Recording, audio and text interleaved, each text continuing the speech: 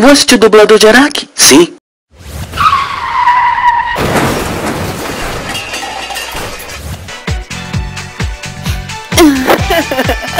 ah, hoje eu tô uma piriguete. Ah, então eu vou apagar o seu fogo, gatinha. E arrancar o seu vestido vermelho com os meus dentes. Hum, tá garanhão, vai me foder. Hum.